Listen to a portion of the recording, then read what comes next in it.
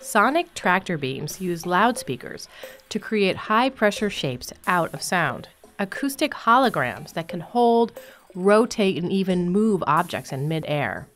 But for years, researchers have struggled to levitate objects larger than half the wavelength of the sound.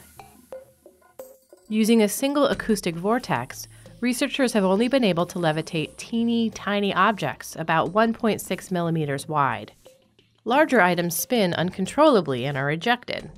Now, a team of engineers has figured out how to levitate objects more than 10 times that size.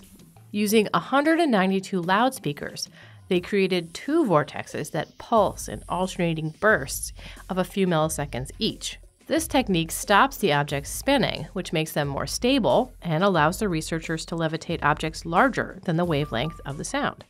It may be a while before such beams can be put to practical use, but in the meantime, scientists say that with more powerful speakers, they might be able to hold and even control astronauts in zero gravity.